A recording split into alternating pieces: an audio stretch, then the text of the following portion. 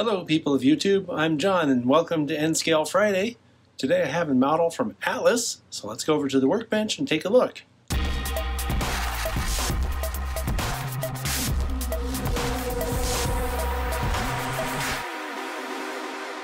All right, here's what we're looking at today. This is an Atlas Master NE6 caboose. And if you look on Atlas's website, you'll see that these go for $32.95. This particular model is decorated for Chicago Northwestern. And because it's in Atlas's Master Series, it has better detail than what you might expect.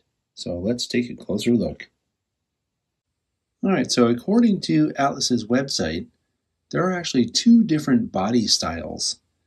And one of them is the New Haven body style, where the windows are spaced closer to the cupola.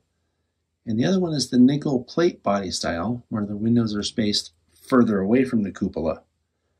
As you can see, the rails on the ends here are very finely painted. And I have to say, looking at the paint with the magnifying visor, it's flawless paint. The paint job on this caboose is really good. Also, the logo looks especially good. This logo right up in here. It looks like, well, let's just put it this way pad printing has come a long way. But really, what I want to point out is how the paint treatment on the rails on the side make them look like separately applied parts. And then you can also see from this angle, that's a separately applied smoke jack over here pretty cool. Taking a closer look at this end, you can see that this whole end piece appears to be a separately applied part that goes on to the end.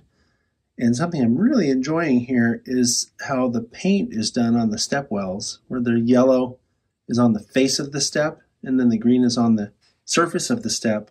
That looks really good. Also, the paint along the rails here, I think looks really good. And on this side, you can also see that the handrails that are up against the model in here are painted the same way as the side handrail, which makes them look like separately applied parts. Something else, I don't know if you can tell from this angle, but all the windows in this caboose have glazing, so you would not have to add any window glazing to this. And then also from this angle, you can see this is one of Atlas's knuckle couplers. And here's a shot from the other side of that end. And here we see the other side of the caboose. Again, having a close look at the paint job. It looks really good. And here's the other end. You know, on cabooses, for me at least, it's always hard to tell which one is supposed to be the A end and which one's supposed to be the B end because they both have brake wheels. So I always assume, and I may be wrong about this, but I always assume that the end where the smoke jack is closer to it should be the B end. Because think about that if the train is traveling in the direction that's closer to us, the smoke jack would be further back and it would not blow smoke into the caboose through open windows on the cupola, for example.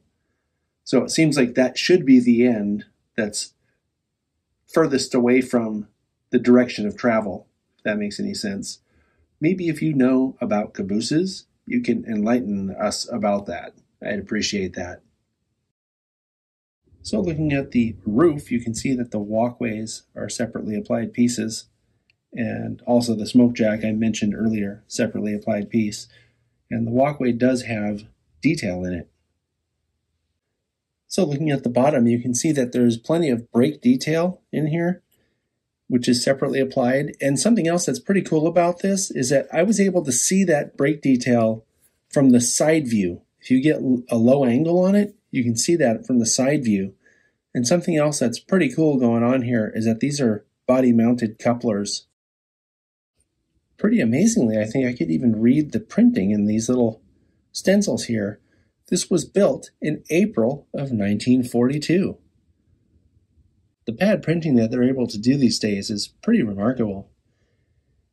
Something else they mentioned on the website is that the trucks are according to whatever the prototype is. So they're going to some lengths to make sure that they're prototypically accurate. I think this is a really cool caboose. I like that they have different versions of the caboose for different prototypes. I think that's something that more manufacturers are doing these days, and my hat goes off to Atlas for making such a nice model. I'll see you next time.